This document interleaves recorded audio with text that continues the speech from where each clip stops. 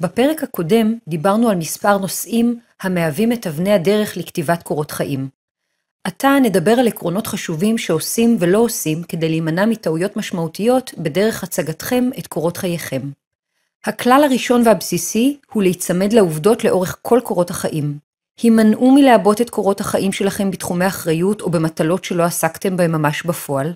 הימנעו מטייטלים משודרגים לתפקידים שעשיתם, ובאופן קיצוני יותר כמובן, מחברות ומתפקידים שכלל לא ביצעתם. זה אולי נשמע לכם מובן מאליו, אבל זה לא בהכרח כך אצל כולם. אתם יכולים וצריכים לשווק את עצמכם היטב באמצעות קורות החיים, אך זה מתייחס רק לאלמנטים שאותם אכן ביצעתם. הארץ שלנו קטנה מאוד, קל מאוד לקבל עליכם אינפורמציה בלתי אמצעית, דרך הרשתות החברתיות וגם דרך אנשים משותפים שאתם והמגייס מכירים.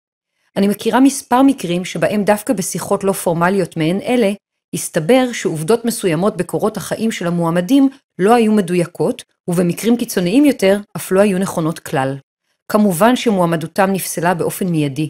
אמינות היא הערך הבסיסי ביותר בתהליך הגיוס, ואם באיזושהי מידה תיפגע תדמיתכם האמינה בעיני המגייס, מתאימים ככל שתהיו, אתם תנופו מהתהליך.